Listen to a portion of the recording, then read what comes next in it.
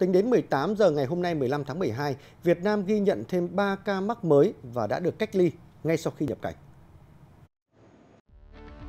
Tính đến 18 giờ ngày 15 tháng 12, Việt Nam ghi nhận thêm 3 ca mắc COVID-19 mới đều đã được cách ly ngay sau khi nhập cảnh, nâng tổng số ca mắc COVID-19 lên 1.405 ca.